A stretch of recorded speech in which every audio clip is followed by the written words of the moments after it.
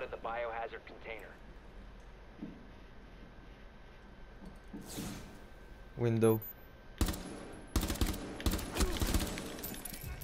Got him. Yeah, I think.